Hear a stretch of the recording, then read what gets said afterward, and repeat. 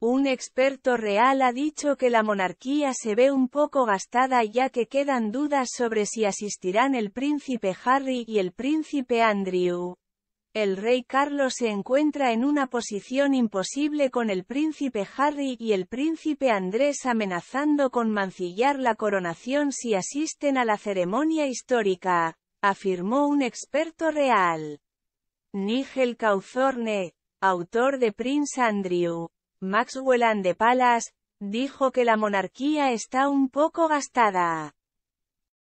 Según los informes, se le ha dicho al personal del Palacio de Buckingham que planifique que el duque y la duquesa de Sussex asistan a la coronación del rey, pero esto aún no se ha confirmado públicamente.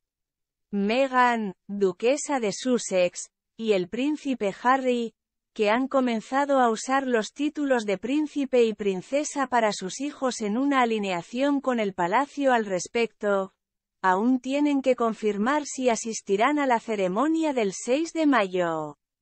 También hay dudas sobre el papel que el príncipe Andrew puede desempeñar en la coronación, dado que ya no es un miembro activo de la familia, se produce después de que el duque de York resolviera una demanda civil estadounidense con Virginia Giuffre, quien acusó a Andrew de abusar sexualmente de ella cuando era adolescente. Andrew negó repetidamente la acusación y no admitió ninguna irregularidad en la resolución del caso.